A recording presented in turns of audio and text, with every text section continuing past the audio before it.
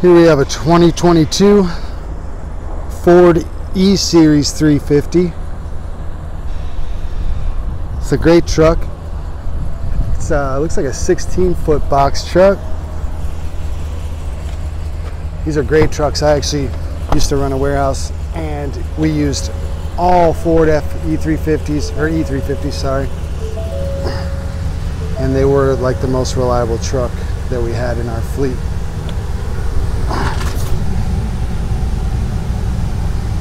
Obviously I have this cranked. Here's the inside. Super nice interior. Obviously this is a new vehicle, only 6,000 or so miles on it. Um, it does have Bluetooth capabilities as well, which is really nice. My trucks did not have those. Got a 10 foot, 6 inch clearance on it.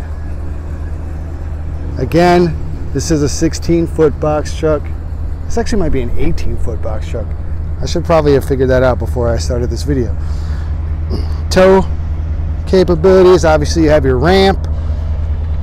Sorry, I can't open this one-handed. Here's the inside. Very clean. Super nice truck actually, you guys. Especially for the price.